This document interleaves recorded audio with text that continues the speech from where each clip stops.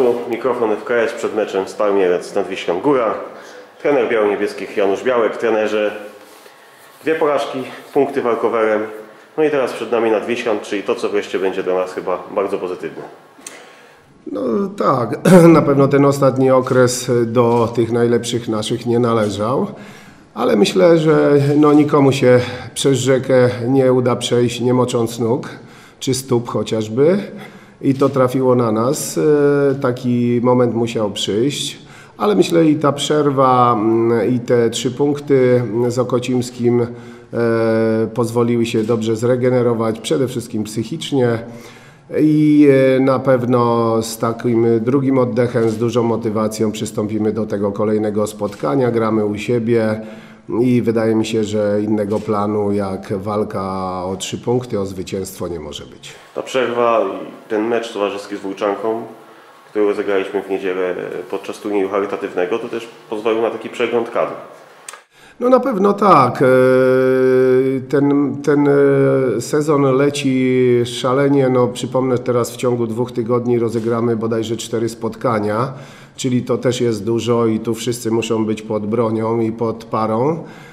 I na pewno e, ten mecz pozwolił też na takie spojrzenie na zawodników, e, jak się prezentują i myślę, że tutaj trzeba i mnie i, i wszystkich uspokoić. Na, na pewno ci zawodnicy, którzy mniej jakby grali, mm, są w dobrej dyspozycji, w każdej chwili mogą do tego składu wskoczyć i na pewno każdy z nich swoją cegiełkę do gry drużyny wniesie.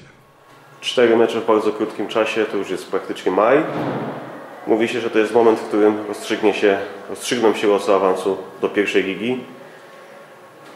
Policzone punkty, policzone wszystkie szable.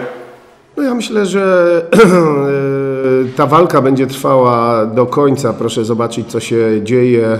W tej kolejce mierzy się bodajże Raków ze Zniczem. To jest mecz bardzo ważny dla układu tabeli i tu nikt nie odpuszcza. Doskoczył Znicz 3-4 kolejki temu już do tej grupy pościgowej. W tej chwili włączyły się w to Tychy. Ale to myślę dobrze dla całej ligi, dla kibiców, dla nas, bo to mobilizuje. Ja nie ukrywam, że ten moment taki, e, powiedzmy, tych gorszych wyników, bo formy na pewno nie, ale gorszych wyników przyszedł też e, w tym momencie, gdzie ci przeciwnicy nie mogli nas dogonić, gdzie ta przewaga była taka widoczna, bezpieczna. I to y, w sporcie nie jest taki dobry mm, okres i czynnik, bo on tak trochę dekoncentruje, usypia. I wydaje mi się, że to uderzenie takie e, przysłowiowe, oczywiście w głowę, e, w taki sposób dobrze wpłynie na motywację, podejście naszych zawodników, bo tu okazuje się, że trzeba być cały czas w gotowości, trzeba być czujny. Sport tego wymaga. To tak jak jeden z naszych bokserów ostatnio, który praktycznie prowadził e, cały, całą walkę e, i miał przewagę i, i, i wygrywał na te punkty, no, nadział się na jeden cios i, i niestety przegrał przez knockout. E, Takie rzeczy w sporcie są normalnością, dniem codziennym. Oczywiście uczula się zawodników, e, mobilizuje się i przestrzega przed takimi momentami, no ale jak widać e, to życie uczy pokory, to życie uczy powiedzmy tego, że trzeba szanować to, co się osiągnęło i, i tymi przysłowiowymi pazurami drapać to, co można jeszcze ugrać z tej, mm, z tej gry. My chcemy ugrać jak najwięcej, my chcemy walczyć. E, Stwierdzam, że zespół jest w dobrej e, zarówno e, kondycji, zarówno fizycznej, jak i psychicznej i można od niego i dobrej gry oczekiwać, i dobrych wyników, i dużego, dużego zaangażowania. Jakub Żubrowski, kapitan Stali Mielec. Przed sobotnim meczem Stal Mielec nad Wiślą Góra, początek w Mielcu o 19. Kuba za nami, tak, dwie porażki, no i punkty za mecz z Okocimskim, którego nie było. Co teraz wydarzy się w sobotę? Mamy nadzieję, że podtrzymamy tą zwycięską pasę, którą rozpoczęliśmy teraz w sobotę z Ogocimskim. I no, po tych dwóch słabszych meczach wszyscy liczymy na to, że wrócimy do dyspozycji, którą prezentowaliśmy na początku tej rundy. No, myślę, że naprawdę to nieźle wygląda na treningach.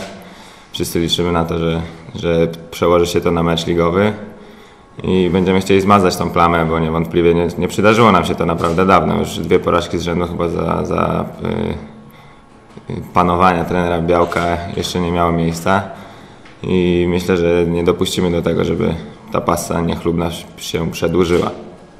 Przyjeżdża na pewno trudny przeciwnik, bo y, zdeterminowany walką o utrzymanie i na pewno nie będzie to łatwy mecz, ale na tym swoim stadionie, chociaż już nie jest to twierdza, której nikt nie zdobył, to myślę, że każdemu się gra ciężko i będziemy chcieli to potwierdzić w, sobotę o 19.